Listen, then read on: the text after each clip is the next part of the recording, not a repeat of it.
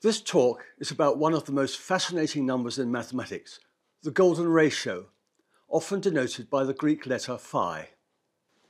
But what is the golden ratio, and what properties does it have? We'll also meet the Fibonacci numbers, but what are these, and how are they related to the golden ratio? And how are these topics related to art and nature? The number phi is the positive solution of the quadratic equation x squared equals x plus 1 and is one half of 1 plus the square root of 5 or 1.618033 etc.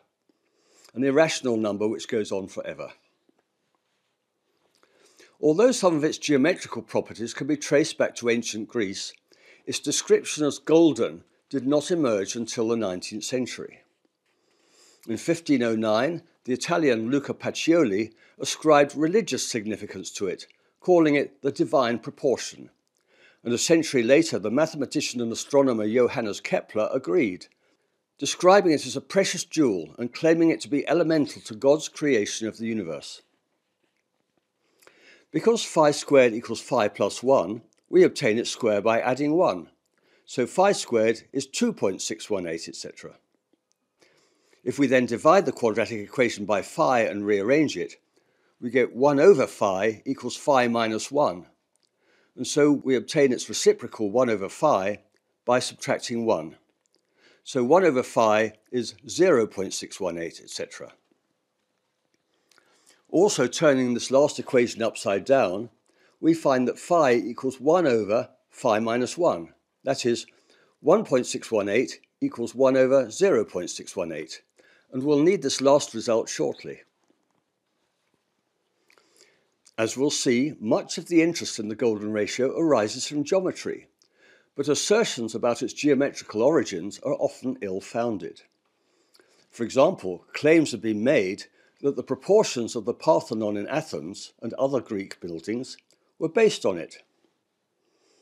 Aesthetically, some buildings may seem too short and fat or too long and thin, as shown on the right while a rectangular building with proportions in golden ratio may be considered to have the perfect shape. But although the Greeks knew about the golden ratio, there's no evidence that they designed their buildings to accord with it. A golden rectangle is a rectangle whose side lengths are in the ratio of phi to 1.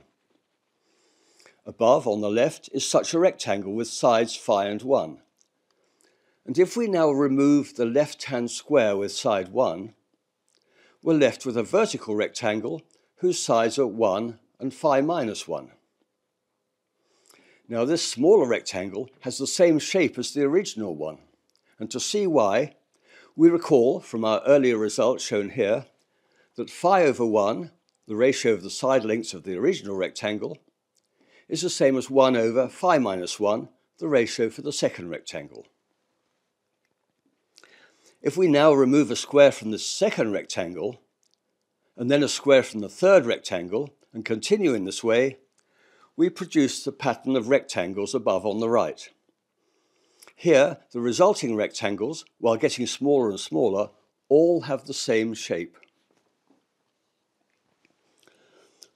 On this picture, we can then draw a succession of circular arcs that approximate a spiral pattern known as the golden spiral. As shown below, this spiral converges to a point.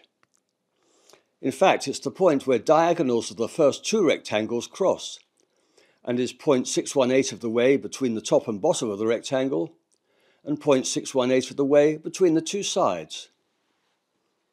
And it's also a point where some artists, consciously or unconsciously, have placed the main focal point of their paintings to which the eye is naturally directed. Such a spiral is called a logarithmic spiral, and it arises in nature in the form of a nautilus shell as shown on the right. It also appears in whirlpools, in the head of a sunflower, as we'll see later, and in other places also. So the golden ratio features in both art and nature. Indeed, the golden ratio arises throughout geometry. For example, in a regular pentagon, the length of any of its diagonals is phi times the length of any of its five sides. Then, as shown on the right, an isosceles triangle formed from two sides of the pentagon and one diagonal has an angle of 108 degrees and two angles of 36 degrees. While a triangle formed from one side of the pentagon and two diagonals has one angle of 36 degrees and two angles of 72 degrees. Moreover, the number phi turns out to be twice the cosine of 36 degrees. By combining these triangles in two different ways, the Oxford professor and Nobel Prize winner Sir Roger Penrose constructed the two shapes below, known as the kite and the dart, to which we'll return in a moment. Suppose that you wish to tile the floor of your bathroom with tiles that are all identical regular polygons. This can be done, but only in three ways. One is the familiar tiling made from squares, but there are also tilings with equilateral triangles and with a honeycomb pattern of regular hexagons. All three of these tilings can be extended as far as we like and look the same everywhere. In the 1970s, Roger Penrose constructed a different type of tiling, and on the right you can see him standing on a version of it. Using his kite and darts patterns, he produced what is now known as a Penrose tiling, as shown in the centre. These tilings are interesting in that, unlike the regular floor patterns shown above, they never repeat anywhere, however far out we go. They're also important scientifically in that they turn up in the form of quasicrystals, solids used in the construction of many practical items, such as LED lights and non-stick frying pans. Closely related to the golden ratio is the Fibonacci sequence of numbers. This is a sequence beginning with 1, 1, 2, 3, in which each successive number is the sum of the previous two. For example, 13 is 8 plus 5. And further on, 144 is 89 plus 55. Born around the year 1170, Leonardo of Pisa has been known as Fibonacci since the 19th century. While travelling in Africa, he learnt about our Hindu Arabic numerals, which he then publicised in Western Europe in his influential Liber Abaci, or Book of Calculation. Here, in this early manuscript, you can see the Fibonacci numbers in a vertical column on the right. But in fact, these numbers predate Fibonacci by a long way, having arisen earlier in the context of Indian poetry, where mathematicians would count the rhythms with a given number of beats, short or long, obtaining these numbers as their results. Fibonacci's book contained many arithmetical problems, including his famous one about rabbits. A farmer has a pair of baby rabbits. Rabbits take two months to achieve maturity and then give birth to another pair each month. How many pairs of rabbits are there after a year? For the first two months, there's just the original pair but in month three, a new pair arrives, giving two in total. In month four, the original pair produces another pair, but the new pair hasn't yet produced, so there are three pairs, and so on. And as you can see, the numbers of pairs after successive months are the Fibonacci numbers. In fact, it's as easy as 1123. Interestingly, Fibonacci seems to have had no particular interest in this problem and it didn't become popular until the 19th century. But what has all this to do with the golden ratio? In the early 17th century, Kepler considered the ratios of successive Fibonacci numbers, and these ratios appear here in two columns 1 over 1, 2 over 1, 3 over 2, 5 over 3, and so on. And as he discovered, and as you can see, the ratios in the left-hand column gradually increase towards the golden number. while those on the right decrease towards it, with their common limiting value being phi.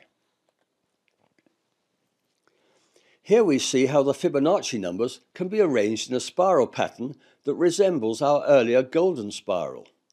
Here, starting from the middle, are squares with sides 1, 1, 2, 3, 5, 8 and 13, and further ones can then be added at will. Also, like the golden ratio, Fibonacci numbers appear throughout nature, for example, the numbers of seeds in the spiral patterns of a sunflower head are often Fibonacci numbers, such as 34, 55, or 89. An amusing paradox popular in the 19th century was described by Lewis Carroll, mathematics teacher and author of Alice's Adventures in Wonderland.